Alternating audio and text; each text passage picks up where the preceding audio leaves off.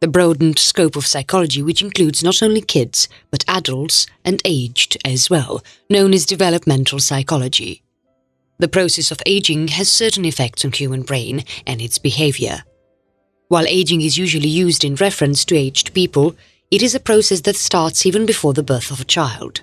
The growth first takes place in the womb, from an egg to a baby, while after the birth, more complex development takes place. With regular exposure to society and environment, the kids start picking up on things that people do around them, the way that people behave around them, the way people move, the way they talk, etc. These are the initial things that a kid learns from home, from family, from society, and even from initial schooling. While we all know that school is the source of a lot of knowledge that a child holds, it also is the source of behavioral skills, speaking manner, habits, etc. that a kid has.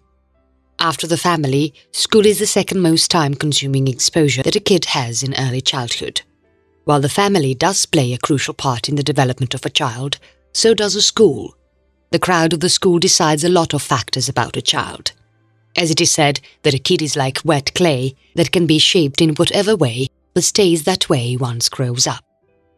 Which is why the selection of schools, selection of teachers is a critical choice and is the key to a healthy childhood. Even cognitive skills are highly affected by the environment in which a kid grows up. The creativity of a child's mind depends on the crowd that a kid has around. If the creativity is not appreciated and encouraged, the growth might not take place properly. Along with perspective skills, which means that one's perception affects their kid's perception. When it comes to physical skills, environment does have a role, but so does diet, genetics, and geographical location. When it comes to diet, one thing must be kept in mind that nutrition of a child is of great magnitude. While physical growth is evidently on the stake of good diet, so is cognitive. A mind required proper nutrition to grow. Without that, a mind can grow lethargic and many consequences will follow. Location is also of importance. The gravitational force, as well as the climate, has its own effects when it comes to physical growth. The factors affecting it doesn't end yet. One of the main factors is still remaining, and that factor is genetics. Yes, genetics has a toll on the physical growth of a child. The genes of parents decide most of the important growth factors in a kid's body. Most of the time, the growth pattern in children matches their parents, be that height, weight, body type, muscle growth, etc. Even the skin tone and features are decided by the parents' genes. While genes are very important, sometimes some underlying disease takes control over the growth of a child. These diseases can either fasten the growth way more than an average level or slow them down by a considerable amount. These diseases usually affect the growth of bones and muscles, but in some cases, it fastens or slows the aging process as well.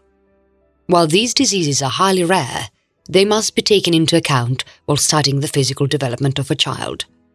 With this section, the physical development is covered with all of its major deciding factors. Next comes the social as well as emotional development, the focal part of a child's development and the deciding factor of his personality and place in society. Social and emotional development is trivial to psychological well-being. The way a child reacts to society and individuals in a social situation is what is basically known as social development. The behavior and manners which a kid decides to follow along with his or her way of speaking, confidence level and ability to handle different social situations, ranging from fights to embarrassment. When a person goes out into society, he or she must face all social situations, and there might be a variety of them. A kid starts learning how to behave in society from a very early age by learning how the family behaves in social situations, as well as what reaction they get when they behave that way. These things start leaving a mark on a child's mind from a very early age. That is why families are highly advised to behave nicely all the time whenever their kid is around. While social abilities are also developed in school with the exposure they provide by different kind of students and teachers. The school is where the major part of social development takes place, and when it comes to emotional development, then every kid has a personal process for that.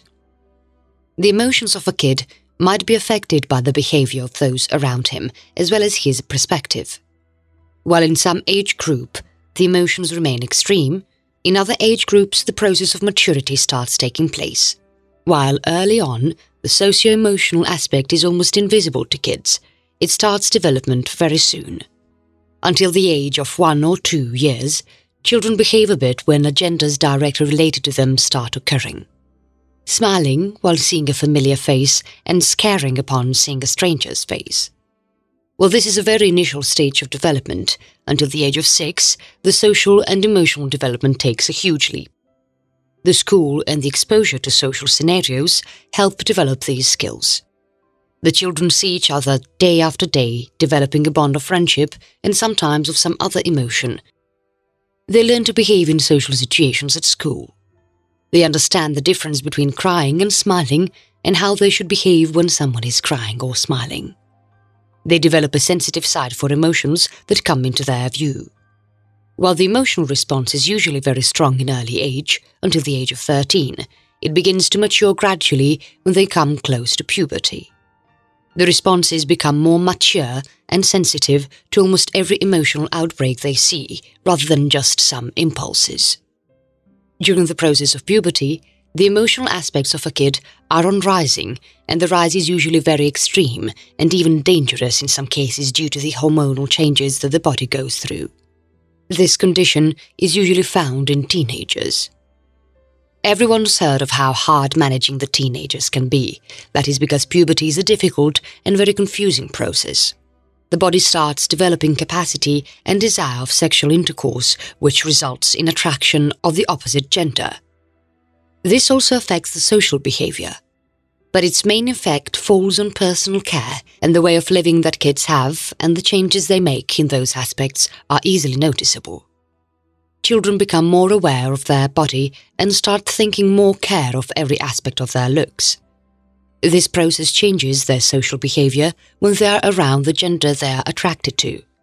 They become more conscious and cautious. The attachment also increases due to puberty and a lot of hormones in the body every little detail becomes extreme. Every issue goes beyond its normal scale. The kids in this age are usually moody and they prefer solitude. While what they actually need is a lot of support and attention.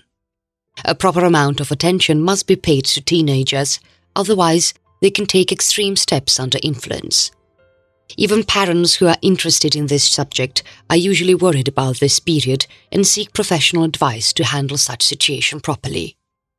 With increasing use and influence of social media, the problems amongst teenagers have taken a rise as well. The display of perfection on social media causes anxiety and depression amongst many teenagers. This has been the number one concern amongst parents as well as psychologists, more and more teenagers are suffering from such diseases, which don't only affect their socio-emotional development, but also takes a toll on their cognitive development. When it comes to extremes, even self-harm cases become common amongst the teenagers. This is an increasing issue which is inviting concerns from all over the world. That is why a lot of people are taking a keen interest in the whole process and all the stages of psychological development. While initiatives are in place, this requires serious attention from every family and even teenagers themselves. The awareness should be spread and the precautions are taken so that not a single other kid takes any extreme steps in any case. These are the things which must be spread even through social media because it has a very powerful influence on them and can help them greatly. Every person who comes in contact with any of such cases must stand up and raise the voice against all of this so that a better future can be provided for the generation to come. And their psychological balance can be maintained as well. Since the earliest period of our life was pre-verbal, everything depended on emotional interaction. Without someone to reflect our emotions, we had no way of knowing who we were, said John Bradshaw. This quote doesn't only show the importance of this process, but also describes the integrity of socio-emotional quality.